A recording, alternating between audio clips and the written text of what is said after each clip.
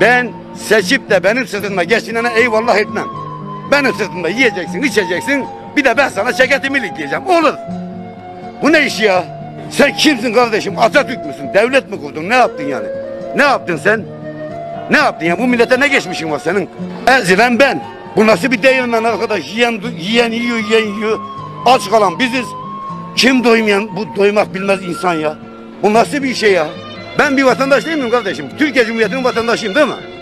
Ben şimdi şurada bir hırsızlık yapsam. Kanunen bu nedir? Suç değil mi? Peki tepedekiler yapınca niye hiçbir savcı harekete geçmiyor? Söyler misiniz ya? Niye hiçbir savcı müdahale etmiyor kardeşim? Bana mı gücü yetiyor ya? Yiyorsa onlara da gücü yetsin. Bu nasıl bir çelişki ya? Ben vatandaşım. Ben askerlik zamanımı çağırıyorsun sen.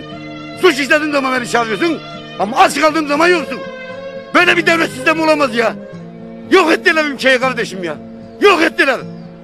Hiç kimse çağdaş Atatürk insanını ezemez. Seni ben seçiyorum ya. Sen nasıl beni eziyorsun kardeşim? Nasıl beni ezersin söyler misin ya? Ben bugün işsizim. İki tane kızım var bakamıyorum. Hani neredesin devlet? Ama borcum olduğu zaman istemeyi biliyorsun. Suç işlediğim zaman cezaevinde yatırmayı biliyorsun. Aç kaldığım zaman neredesin sen? Var mı böyle bir şey? Sen konuşma ben konuşmayayım. Öbürü konuşmasın. Kim konuşacak? Nasıl çıkacak karanlıkta kalan aydınlıklar?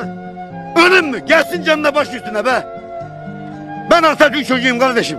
Ölüme de bin defa Atatürk'ün gitmeye razıyım ben. Ülkem için de ölmeye razıyım. Yazık günah ya. Araplara peşkeş çekiyorlar. Yemenlere peşkeş çekiyorlar. Katarlara peşkeş çekiyorlar. Biz neciyiz burada? Hiç kimse Türk milletini basite alamaz.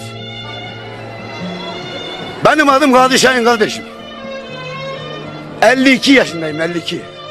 Ya arkadaş tek isteğim var ya insan gibi geçinebilmek.